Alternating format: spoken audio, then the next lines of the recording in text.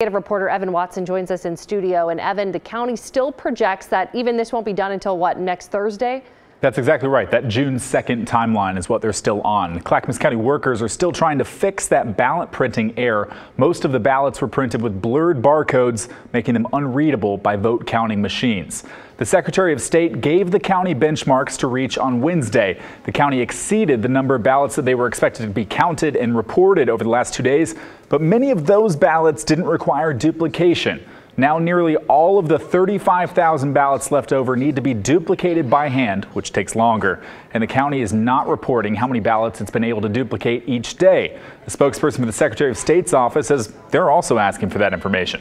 Data shows the total number of ballots needing to be duplicated dropped from 44,000 to 35,000 as of last night, implying the county duplicated about 9,000 ballots yesterday.